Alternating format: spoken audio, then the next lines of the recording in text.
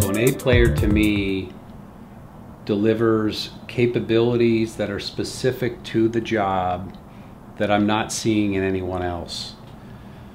It's hard to it's hard to describe. It's very hard to describe, but you know it when you see it. So it's someone typically that has a depth of experience that may be directly related or indirectly related.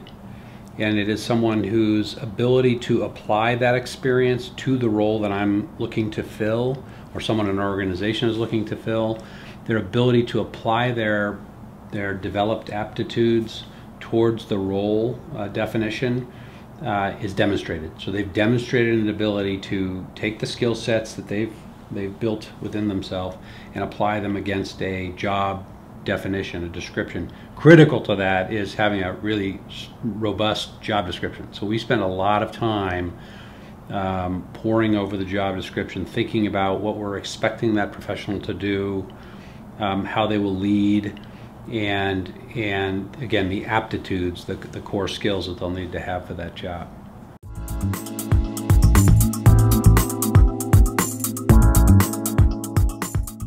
We have a culture, uh, and it has five tenets to it, and we interview against those five tenets. So we are looking for a demonstration of focus, alignment, accountability, integrity, and trust.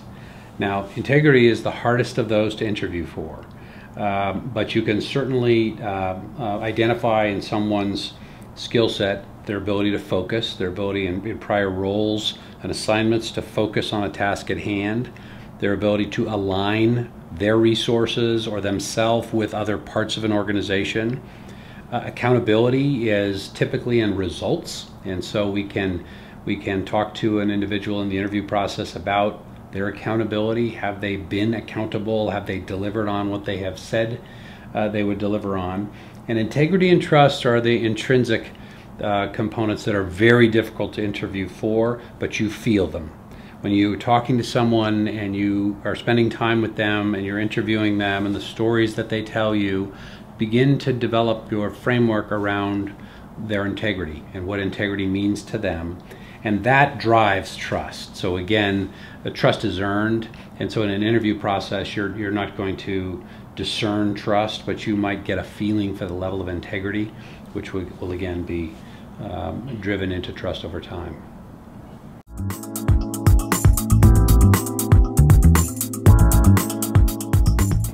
We try to hire only A players, so uh, in candor, it's very difficult to know on, on in the hiring process if you actually have an A player.